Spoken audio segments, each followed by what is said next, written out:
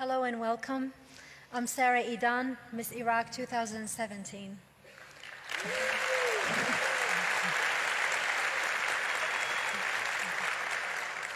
I met Adar in Vegas during Miss Universe competition. We became friends in less than 10 minutes. All it took for us to feel connected was we were both not concerned with the difference of our faith, beliefs, and nationality.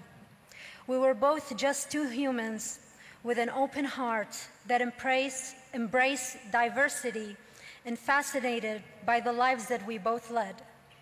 Right then and there, we became like sisters.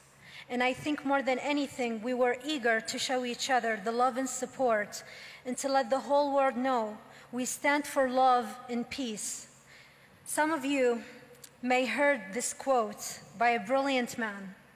Insanity is repeating the same thing over and over again and expecting different results.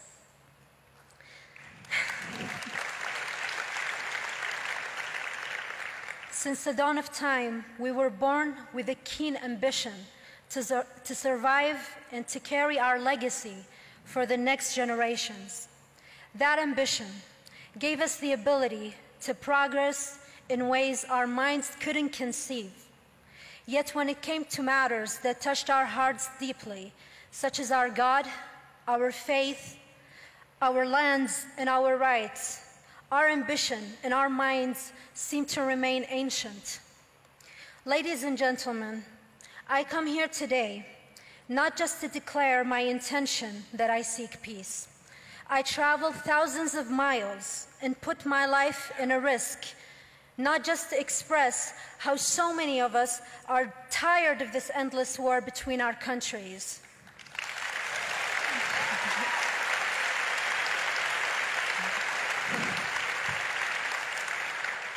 I come here to present you with the most vital question. What are we willing to try to provide our future sons and daughters the peace and life of dignity and harmony? And how can we achieve it? It is time to seek a new method, one that does not consist in emphasizing our disagreements and planting hatred between our people, but rather one that seeks reasoning, mutual compromise, and nation's unity.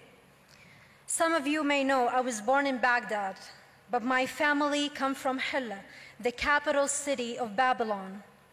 I remember like it was yesterday, my father showing me and my siblings the ruins of what used to be the first and greatest empire known to existence telling us the stories behind the Tower of Babel and Hammurabi Code, and how this land came to be the origin of all faiths. You see, the sense of identity, you see, the sense of identity that our ancestors have given us has vital importance on our values and who we are as humans today. It must be acknowledged and celebrated. This is why I believe Israel and Palestine should both have a right to coexist in this beautiful land.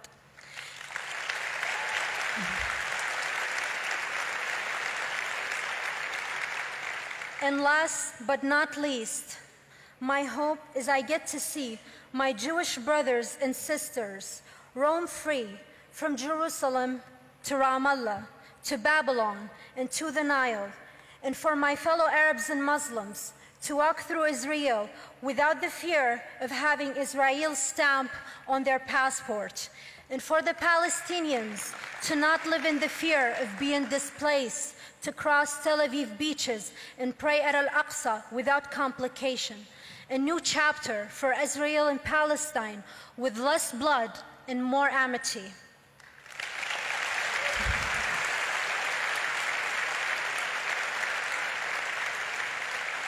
I want to thank AJC and everyone for allowing me this wonderful opportunity.